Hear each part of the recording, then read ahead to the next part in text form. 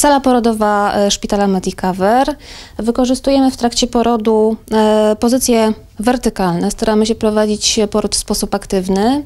E, łóżko porodowe wykorzystujemy tak naprawdę w drugim okresie porodu, natomiast łóżko porodowe ma wiele funkcji. Możemy podnosić je do pozycji wręcz siedzącej. Mamy poręcze, które również wykorzystujemy. Wykorzystujemy piłki, materace.